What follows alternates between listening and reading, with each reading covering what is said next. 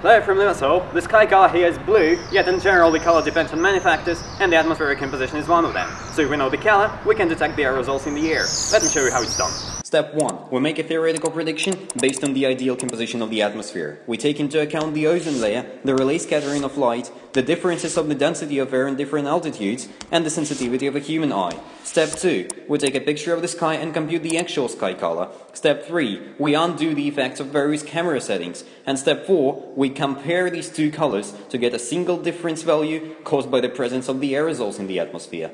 But what does this value actually mean? The short answer is we don't know and we need your help. By pressing a single button, you can upload your value to our website. Every single number will be a data point on our statistical correlation graph, and once we have enough of that, Anyone anywhere in the world will be able to measure the composition of the atmosphere just by moving their phones overhead and tapping the camera button.